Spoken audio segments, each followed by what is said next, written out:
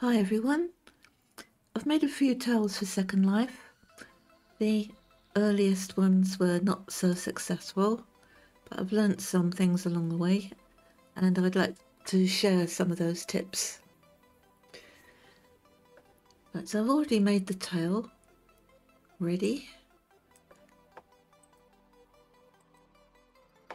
So the first thing to do is add an Avastar and line it up with the Avastar.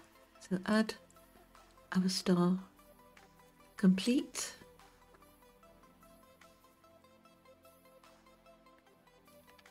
That's more or less where I want it, but the bones aren't. So I'm going to click the bones and then look at rig display and disable these groups but enable tail first. Uh, we're no longer distracted by the other bone groups. Now you can see this uh, default tail doesn't fit the tail I made and I want it to. It's also too high because if I were to push the tail up to the oops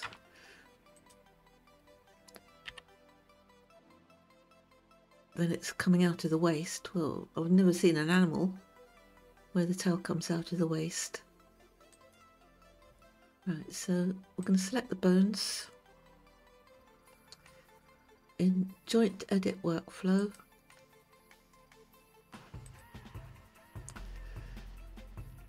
Ah, don't know what that is. Let's click it and find out. It blinked left. Oh, I didn't mean to leave the structure bones enabled. So let's go to special bone groups here and un, uh, deselect structure. Okay. Alright, so now I want to uh, move these bones. So press L and that selects all linked. And pull it down. GZ about halfway up the tail. Now I want to lengthen the tail, so I'm going to change the cursor to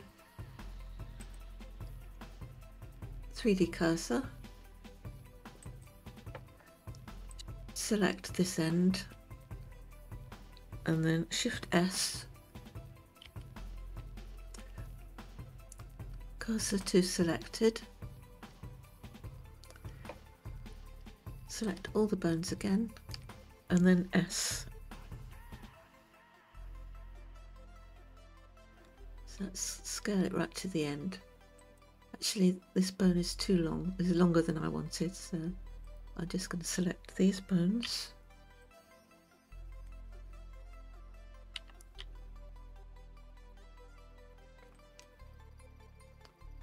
And then select them all again and S until it reaches the tip. There we go. So I'm going into object mode now. Select the tail. Yeah, it's about halfway into the body, which is what I wanted. Okay. So now we'll control A, all transforms. So it now has location, rotation and scale applied. And the tail itself into pose mode. And then posing panel.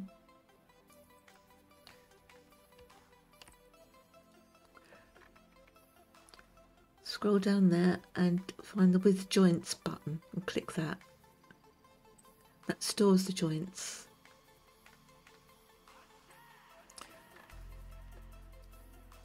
Right, so now we're going to bind the tail to the bones.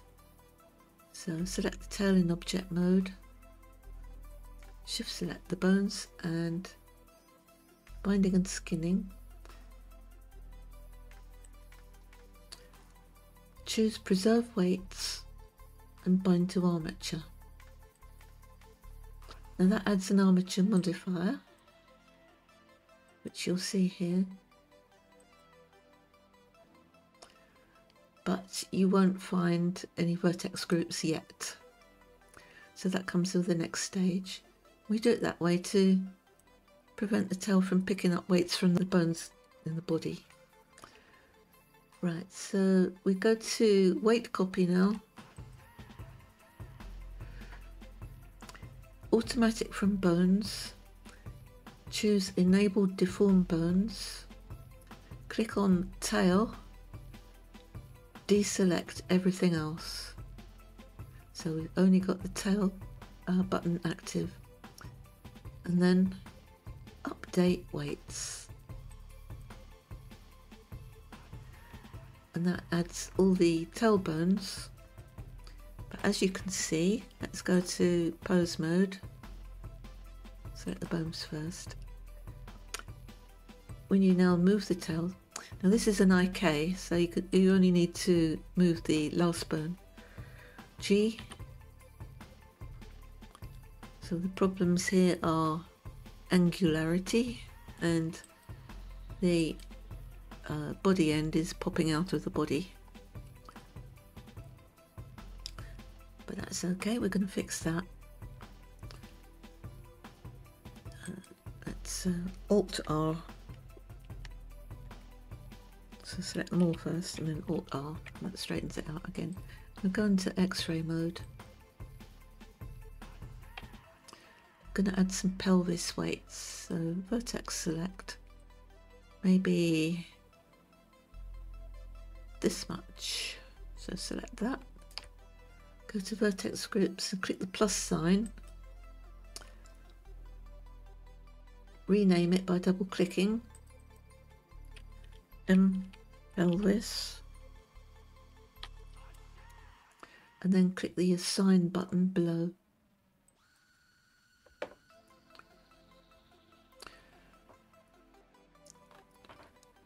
and we're not quite done because as you can see it still moves a bit but that's okay we'll fix that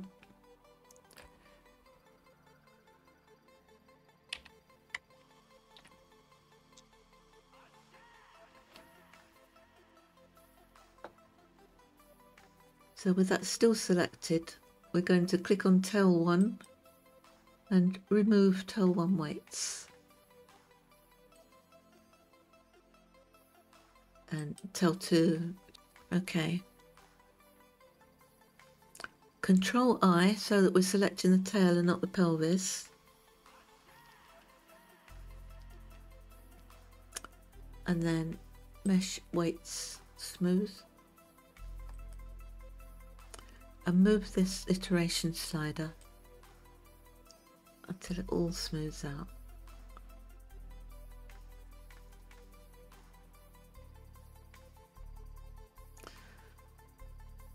Don't worry if a bone pops through the mesh, it doesn't matter. I'll just smooth this in between a bit. Smooth. Seven.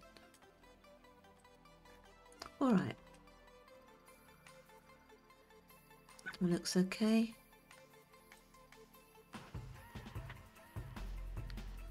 So the next thing is still in edit mode. Select all,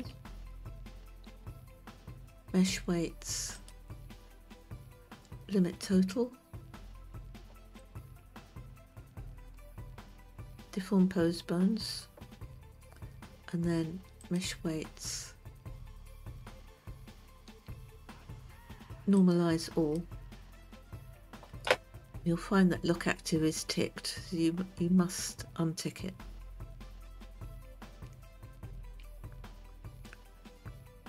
Okay, so now we come to the posing. Select all the bones and then Alt R. We'll just check it. Now if you want the, the tail to curve downwards, then begin by rotating that slightly there. And then now when you move this, it will curve down. If you want it to go upwards, it might not want to go upwards until you move, you rotate that bone upwards. So uh, let's have a look. Oh, it did. Right, if it doesn't, then just rotate that a little bit to give it a start. Like that.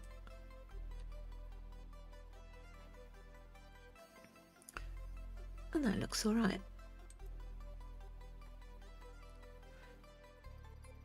Now this tail has not been UV unwrapped yet, which means it's not going to take a texture until it has been.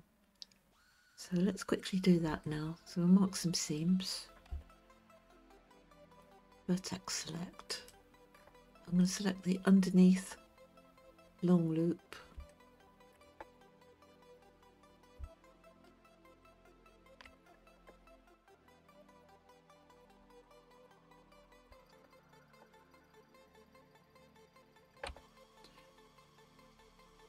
and perhaps this loop here and then control E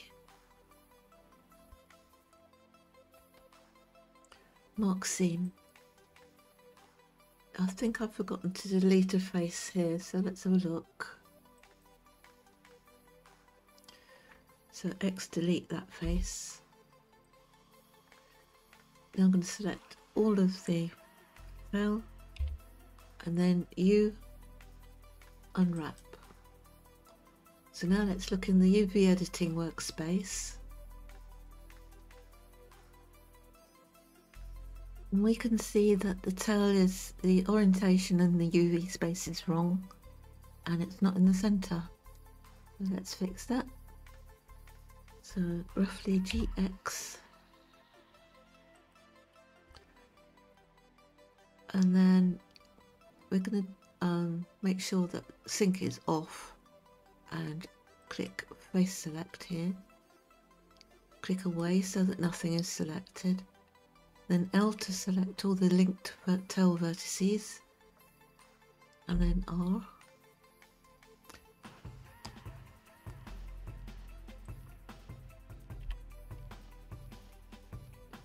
Now I'm going to select this center line So I'm trying to estimate what's, uh, oh, back into vertex select. Try and estimate the center one.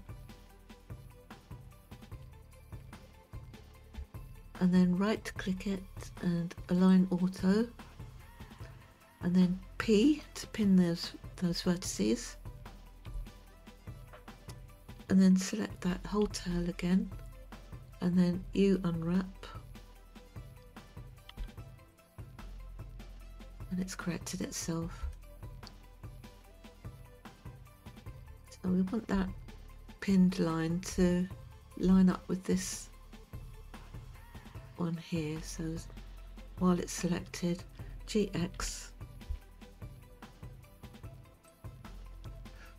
Right, now it's overlapping the edge of the UV square. We don't want that. So S to scale.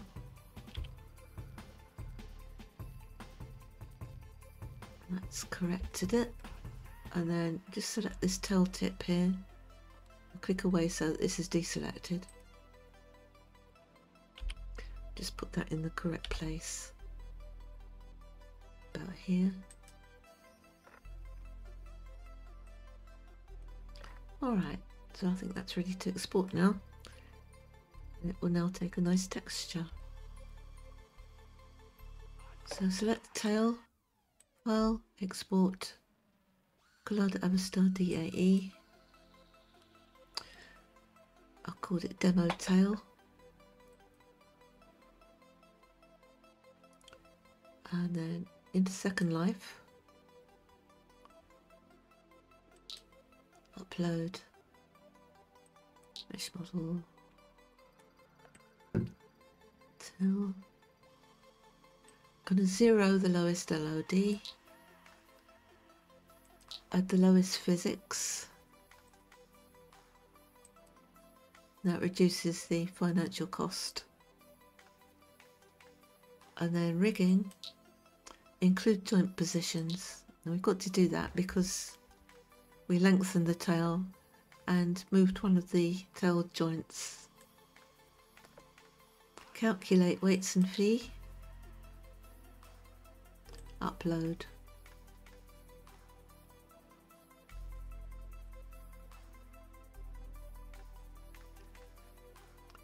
Attach to tail base.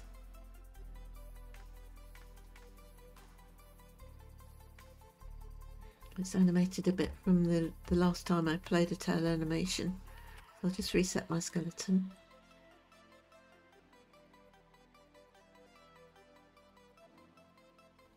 So now we'll make an animation for it. It's back to layout. Now, Gaia has made a very nice animation workspace, and you'll find that uh, in at the bottom of workflows. SL animation workspace.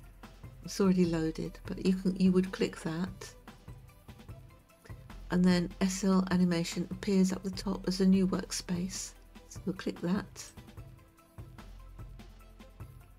So up here you've got the action editor where you put your keyframes. Down here is the graph editor where we'll make it cyclic. Alright, so as I said before, you only need to select the tail tip in pose mode to move it around.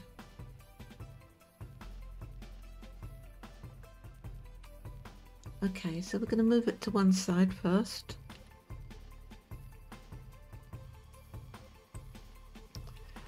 Maybe up a bit.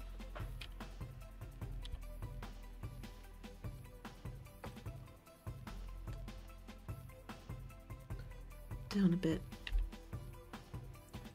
Something like that. Select all. You only need to do this on the first frame. and I rotation. And then we're going to advance by 20 each time if I remember. I keep forgetting and then it overwrites the frame before. Alright so G swing it over to the other side.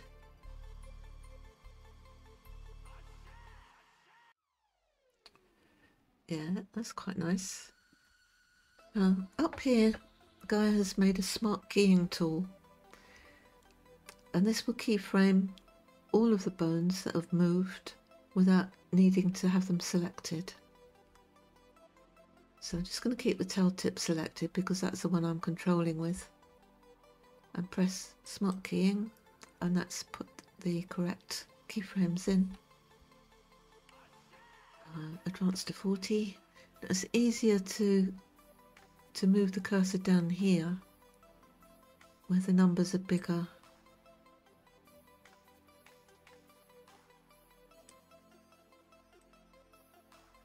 I'm just going to undo the rotation with all selected.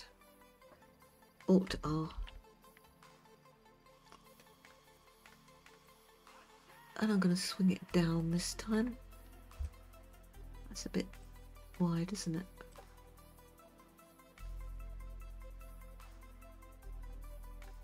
I'm being a bit too elaborate here, I think. Just make it 100 frames long.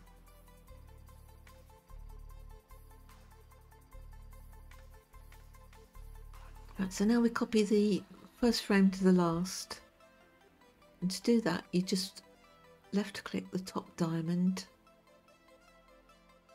that deselects the other rows or columns and then shift D and drag.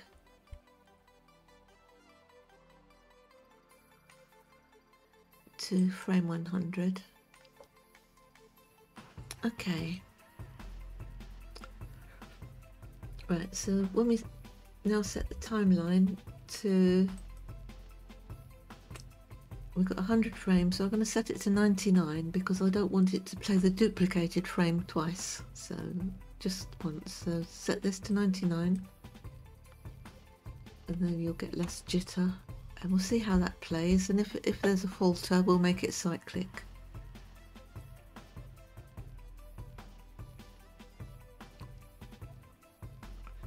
Yeah, there, there is a bit of a falter. There. Okay, so select all the bones. Select all the bones in all the keyframes in the graph editor and then Shift E, make cyclic. We'll see how that plays now.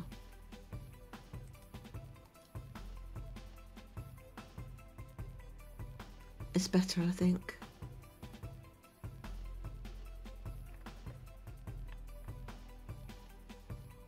Alright. Now we've got to name this. We don't want it called avatar action, so we call it lash tail.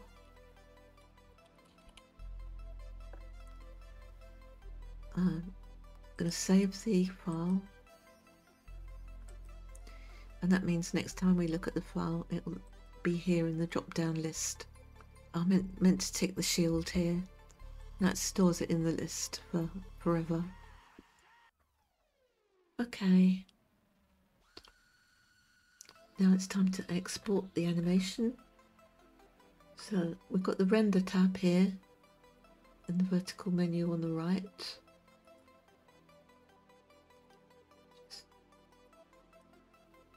Scroll down to animation export. This is where the Avastar exporter lives. Mode anim. I don't want BVH, it's not as accurate. So anim actually bakes the action so that Second Life can't drop any frames or, or mess with it like it does with BVH. You don't need a T-pose with anim. Alright, so start frame. I've got synchronize turned on so it synchronized the start and end with the timeline. Mm. Priority zero. There's no default animation for tails in uh, made by Second Life, so uh, only needs to be zero. And then loop animation in zero out 99. Untick apply armature scale because this is a default human. It's not an animal or giant or tiny. Export lash tail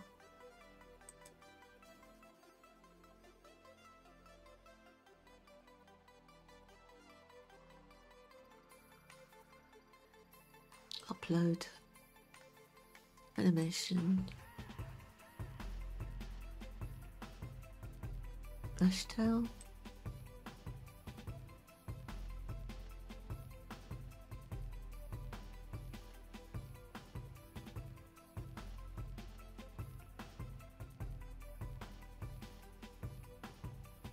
so now we'll texture it I can catch it. I've got one ready.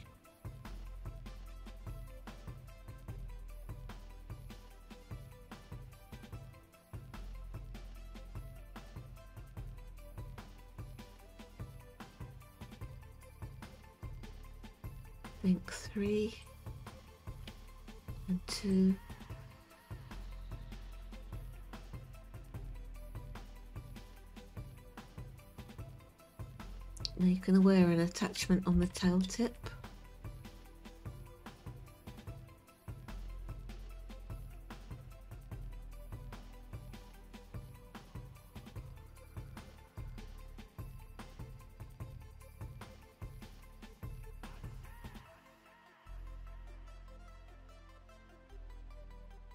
And there we go.